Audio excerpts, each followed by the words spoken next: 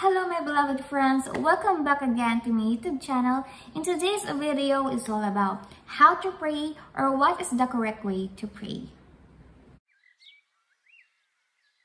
Some of us don't want to pray because they don't know how or some of us naman, they really want to pray but they don't know how to start.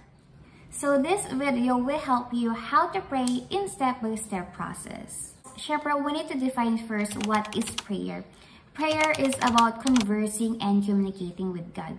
When I say communicating with God, it's between you and God and no one else. Just like in a relationship, you need to have a good connection and good communication with each other. Prayer is also about listening to God and aligning your path to His path. Meaning, dapat yung will ni Lord ang nasusunod, hindi yung own decision mo. And prayer is about worshiping God pouring our hearts to Him. Kaya dapat pag nagpe-pray tayo, honest and open tayo kay Lord. Dapat lahat-lahat sinosurrender natin sa Kanya, pouring our hearts to Him.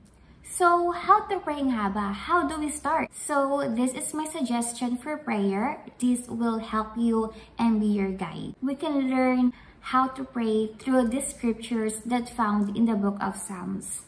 Actually, natutunan ko to sa church namin. So, we're going to follow the ACTS method. ACTS method stands for adoration, confession, thanksgiving, and supplication. Kaya, let's start our prayer with adoration. Adoration is about praising God for who He is. We need to adore God for who He is.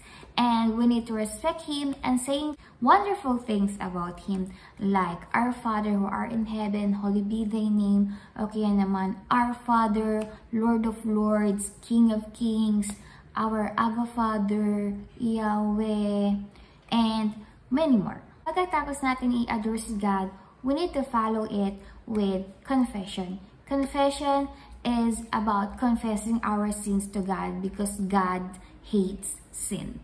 Some of us, ayaw nila i-confess lahat kay God because they believe na kahit hindi nila sabihin yon, alam naman yun ni God. Which is true naman, but don't forget that we need to humble ourselves before God.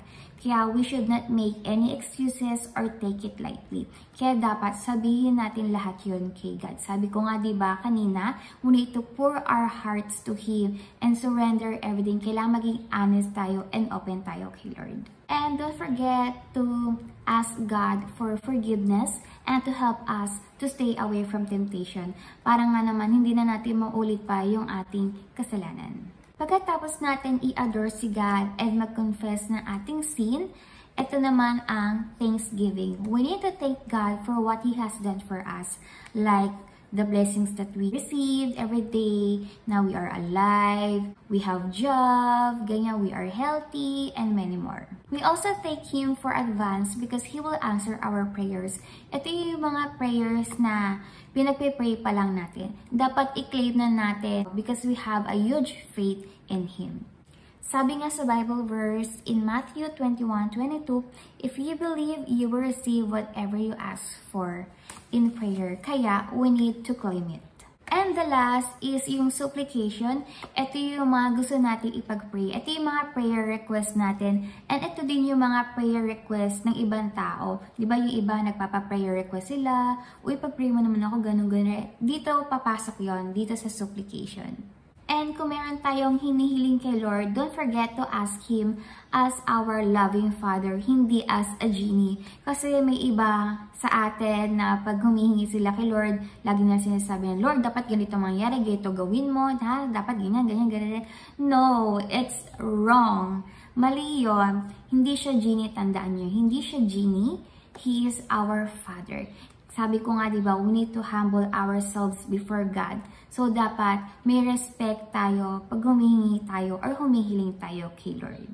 And kaya tayo nagpe-pray because we are dependent on God. Because He is our provider, strength, healer, shield, comforter, our guide, our Father, and of course, our best friend. Ayan ang ating vlog for today. Pero before tayo magtapos, tara, pray muna tayo. To our Heavenly Father, Lord, we're very sorry for our shortcomings. Lord, we're very sorry kung meron man kami nagawang hindi po kanais-nais sa inyong mata. And Panginoon, kung meron man po sa amin is natitempo gawin ang isang bagay, please Lord, ilayo niyo po sila sa temptation like gossiping, sexual immorality, pornography, lust, and many more, O Lord. And Lord, thank you so much for the blessings that we receive. Thank you for the lives of our family. Thank you for the lives of my viewers, O Lord. And Thank you Lord in advance na alam po namin na sasagutin niyo po ang aming prayer request. And Lord, yung mga tao po na nandito, alam ko po Lord na they are seeking you, they want to learn more about you Lord. Please Lord, guide them, guide their path. And Lord, I know that they are hungry for you Lord. Help them Lord to open their hearts and mind to see you more and more Lord. And thank you Lord. In Jesus' name, we pray. Amen. If you have a prayer request, you can send it on my IG and I will pray for you. So thank you so much and God bless us everyone.